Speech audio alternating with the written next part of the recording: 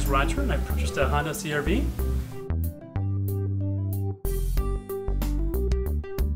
Yes, I worked with Jill Warren. It's our second time we purchased a car from Jill, and we had a great experience buying the, the Honda CRV. Our son was recently involved in a car accident and it totaled the old vehicle, and we uh, decided to purchase a vehicle that was similar in size, and this the Honda CRV worked out great for us. Yes, this is my third uh, vehicle that I purchased from Zimbrick, two from Honda and one from Acura, and it's been a great uh, experience with Zimbrick.